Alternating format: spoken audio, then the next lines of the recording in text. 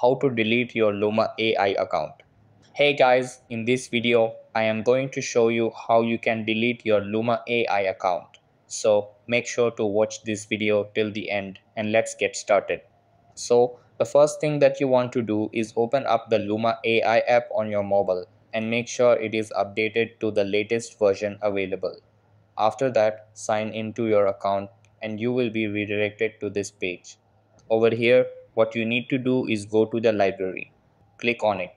After that, you will be redirected to this page. Then look at the top right section and click on settings.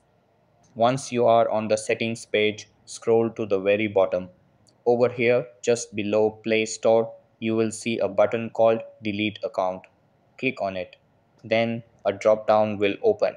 Simply hit Delete it's going to ask for your confirmation just hit on confirm. So that's how you can delete your luma ai account. That's all for this video